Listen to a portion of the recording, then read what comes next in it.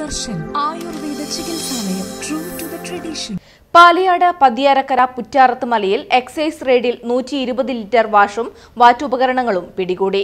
Excise range ഓഫീസിലെ preventive officer Pramod പുളിക്കൂലും പാർട്ടിയും നടത്തിയ റെയ്ഡിലാണ് ഇവ പിടികൂടിയത്.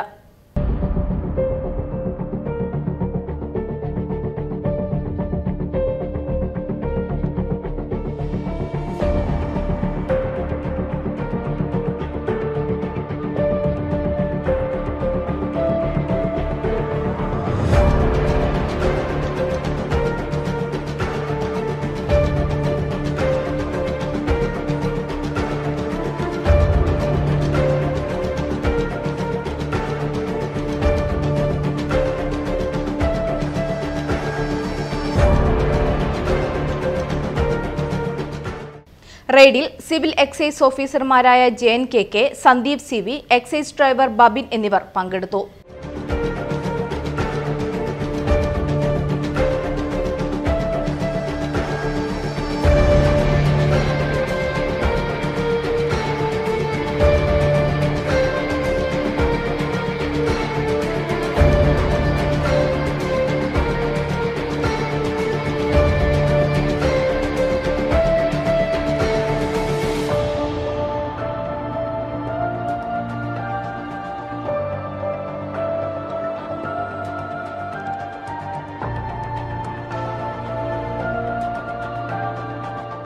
ഇന്ന് കാലത്ത് ഞാനും പാർട്ടിയും പതിയാരക്കര മണിയൂർ ഭാഗങ്ങളിൽ നടത്തിയ റെയ്ഡിൽ പതിയാരക്കര കുറ്റൂത്ത് മലയിൽ വെച്ചിട്ട് ഉടമസ്ഥന ഇല്ലാത്ത നിലയിൽ സൂക്ഷിച്ചു വെച്ച നൂറ്റി ഇരുപത് ലിറ്ററോളം ചാരായം വാറ്റുന്നതിനുള്ള വാഷ് കണ്ടുപിടിക്കുകയും വാറ്റുപകരണങ്ങൾ കണ്ടുപിടിക്കുകയും ചെയ്തിട്ടുണ്ട്.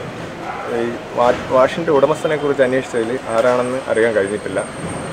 ഉടമസ്ഥനെക്കുറിച്ച് വടകര എക്സൈസ് ഇൻസ്പെക്ടർ ഷിബിൽ കുമാർ സാറിന്റെ നേതൃത്വത്തിൽ ശക്തമായ അന്വേഷണം നടത്തി വരികയാണ്.